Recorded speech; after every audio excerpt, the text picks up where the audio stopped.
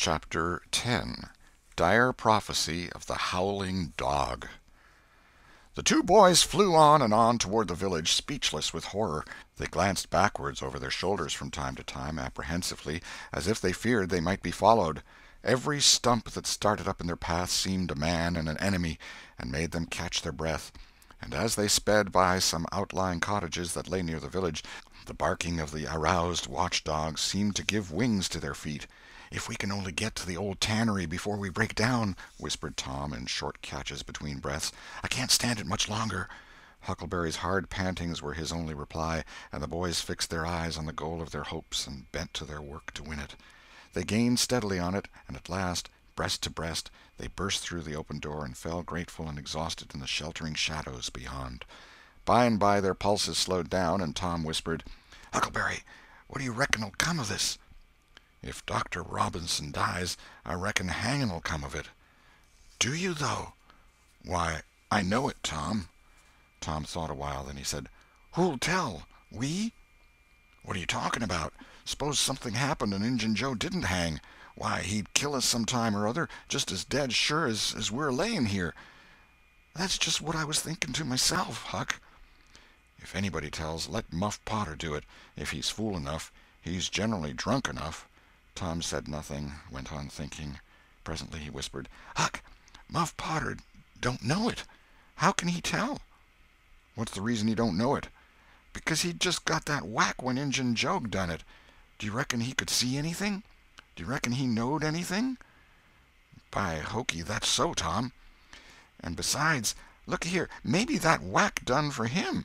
"No, 'tain't likely, Tom. He had liquor in him, I could see that, and besides he always has.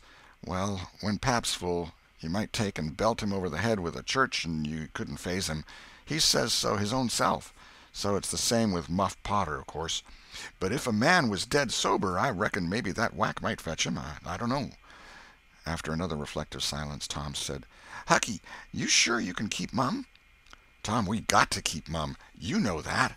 That Injun devil wouldn't make any more of drowning us than a couple of cats, if we was to squeak about this and they didn't hang him. Now looky here, Tom, let's take and swear to one another. That's what we got to do. Swear to keep mum." "I'm agreed. It's the best thing. Would you just hold hands and swear that we—" "Oh, no, that wouldn't do for this.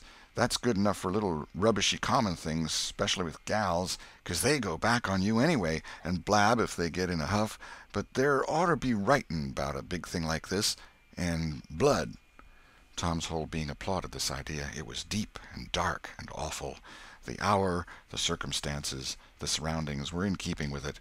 He picked up a clean pine shingle that lay in the moonlight, took a little fragment of red keel out of his pocket, got the moon on his work, and painfully scrawled these lines, emphasizing each slow down stroke by clamping his tongue between his teeth and letting up the pressure on the up strokes. See next page. Huckleberry was filled with admiration of Tom's facility in writing and the sublimity of his language. He at once took a pin from his lapel and was going to prick his flesh, but Tom said: "Hold on, don't do that. A pin's brass. It might have verdigrease on it." "What's verdigrease?" "It's pison. That's what it is. You just swaller some of it once, you'll see." So Tom unwound a thread from one of his needles, and each boy pricked the ball of his thumb and squeezed out a drop of blood. Huck Finn and Tom Sawyer swears they will keep mum about this and they wish they may drop down dead in their tracks if they ever tell, and rot. In time, after many squeezes, Tom managed to sign his initials, using the ball of his little finger for a pen. Then he showed Huckleberry how to make an H and an F, and the oath was complete. They buried the shingle close to the wall, with some dismal ceremonies and incantations, and the fetters that bound their tongues were considered to be locked and the key thrown away. A figure crept stealthily through a break in the other end of the ruined building, now, but they did not notice it. "Tom," whispered Huckleberry, "does this keep us from ever telling, always?" "Of course it does. It don't make any difference what happens, we got to keep mum. We'd drop down dead, don't you know that?" "Yes, I reckon that's so." They continued to whisper for some little time. Presently a dog set up a long, lugubrious howl just outside, within ten feet of them. The boys clasped each other suddenly in an agony of fright. "Which of us does he mean?" gasped Huckleberry. "I don't know. Peep through the crack, quick!" "No, you, Tom." I can't, I can't do it, Huck. Please, Tom, there 'tis again." "Oh, lordy, I'm thankful," whispered Tom. "I know his voice. It's Bull Harbison." Note: If Mr. Harbison had owned a slave named Bull, Tom would have spoken of him as Harbison's Bull, but a son or a dog of that name was Bull Harbison. "Oh, that's good. I tell you, Tom, I was scared to death, and I'd 'a' bet anything it was a stray dog." The dog howled again. The boy's heart sank once more. "Oh, my, that ain't no Bull Harbison," whispered Huckleberry. "Do, Tom!" Tom, quaking with fear, yielded and put his eye to the crack.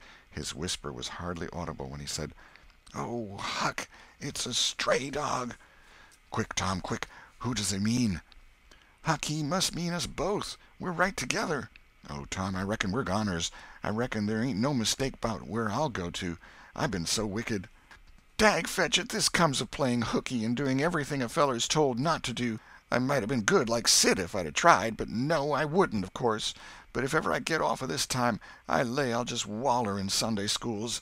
And Tom began to snuffle a little. "You bad!" And Huckleberry began to snuffle, too. "Consound it, Tom Sawyer, you're just old pie, 'longside of what I am. Oh, lordy, lordy, lordy, I wisht I'd only had half your chance." Tom choked off and whispered: "Look, Hucky, look! He's got his back to us." Hucky looked, with joy in his heart.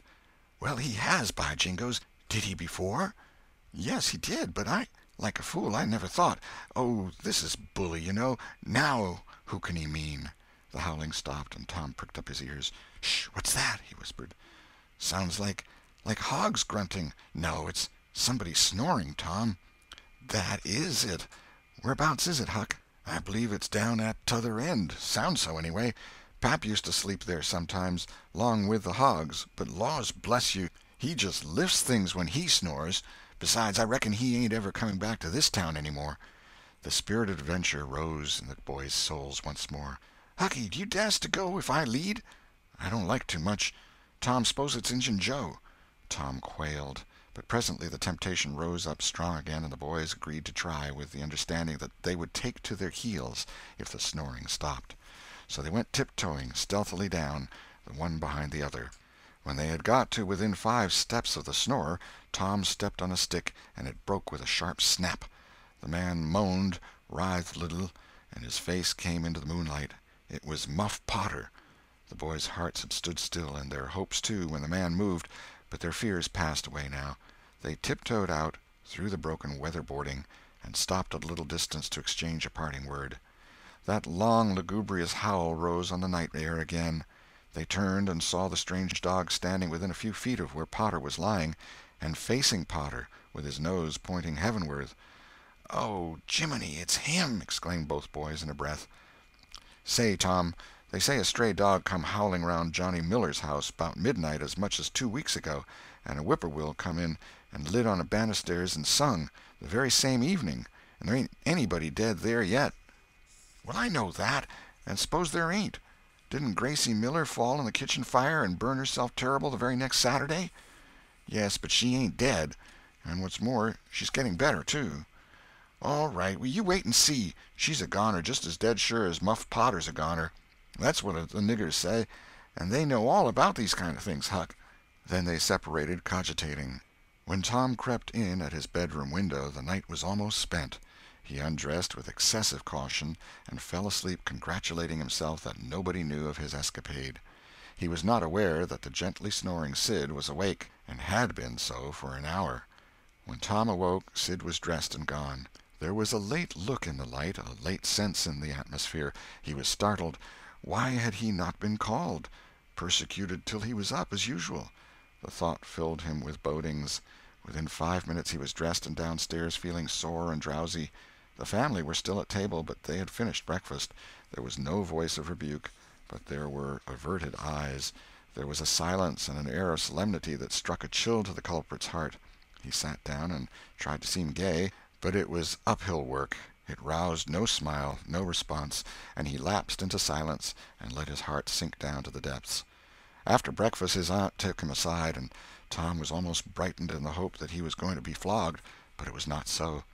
His aunt wept over him and asked him how he could go and break her old heart so, and finally told him to go on and ruin himself and bring her gray hairs with sorrow to the grave, for it was no use for her to try any more. This was worse than a thousand whippings, and Tom's heart was sorer now than his body. He cried, he pleaded for forgiveness, promised to reform over and over again, and then received his dismissal, feeling that he had won but an imperfect forgiveness and established but a feeble confidence. He left the presence too miserable to even feel revengeful toward Sid, and so the latter's prompt retreat through the back gateway was unnecessary. He moped to school gloomy and sad, and took his flogging, along with Joe Harper, for playing hookey the day before, with the air of one whose heart was busy with heavier woes and wholly dead to trifles. Then he betook himself to his seat, rested his elbows on his desk and his jaws in his hands, and stared at the wall with the stony stare of suffering that has reached the limit and can no further go. His elbow was pressing against some hard substance. After a long time he slowly and sadly changed his position and took up this object with a sigh. It was in a paper. He unrolled it. A long, lingering, colossal sigh followed, and his heart broke. It was his brass andiron knob. This final feather broke the camel's back. End of chapter 10